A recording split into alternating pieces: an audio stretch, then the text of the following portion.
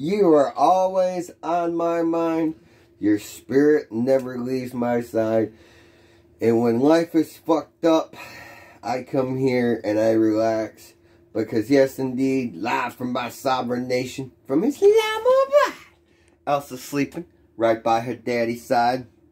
She's always my comfortable, relaxing, beautiful dog give boops as she's snoring away the morning.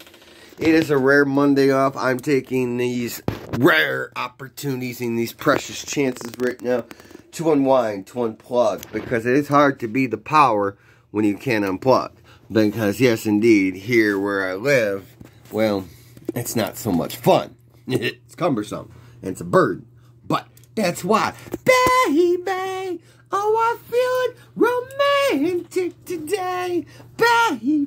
Because you know, daddy's home in Islamabad, Lahore Pakistan daddy's motherland because you get me up dancing and you get me up romancing. You get me up shaking it because there ain't no faking it. Baby. Oh yeah. Feeling romantic? You know I am. Take your clothes off. Get them off, baby. Barbara, how you doing, mama? Because yes, indeed, Silver Hair Fox, this is for the ladies. From Islamabad, Lahore, Pakistan. Oh yeah. Cause I feel romantic. Cause I say, throw away the bullshit. Throw away the stress. Throw away the anxiety. Throw away all the bullshit. Baby. Oh yeah. So it's Elsa by my side. And the beautiful tapestry of our Sons of Liberty, True North Original, family community on this rare Monday off. Dance, romance, because daddy is home in Islamabad, Lahore, Pakistan.